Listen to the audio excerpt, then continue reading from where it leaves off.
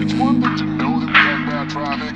It's another when we are ranked officially as the worst. Take a look right now. We are looking outside of our 87 news van. We are on the 10 freeway. This stretch between the 405 and the 110 traveling eastbound into downtown is actually ranked as the worst for all the headings.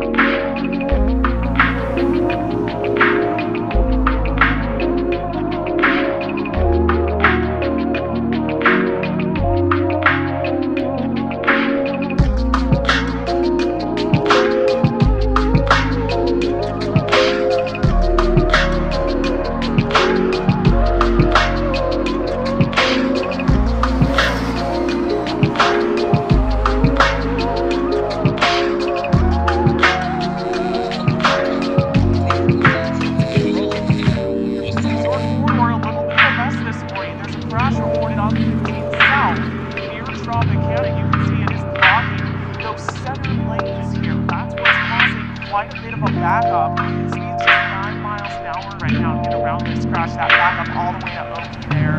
Our photographer Travis did line drive for us this morning. That was